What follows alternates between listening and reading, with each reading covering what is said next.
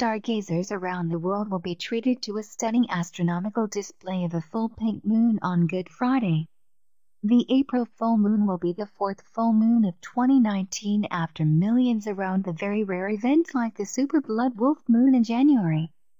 Despite its name, the pink moon won't actually be that color but instead derives the name because it coincides with the blooming of a pink wildflower. The name comes from the herb moss pink phlox, or wild ground phlox, which blooms in early spring in the US and Canada. For the best chance of seeing it, try to head to an area with little light pollution, so the moon will look particularly bright in the night sky. It occurs when the moon is located on the opposite side of the earth as the sun, meaning its face is fully illuminated. The pink moon has also been called the sprouting grass moon, the egg moon, and the full fish moon. According to an old wives' tale, many believe that labor can be induced by the lunar cycle and the start of a full moon.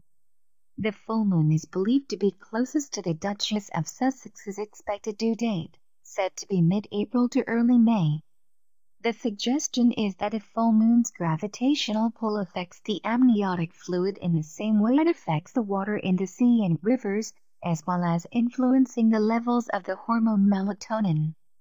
Maternity wards are said to be busier during a full moon, although in the medical world there are many who are skeptical about whether the moon encourages labor.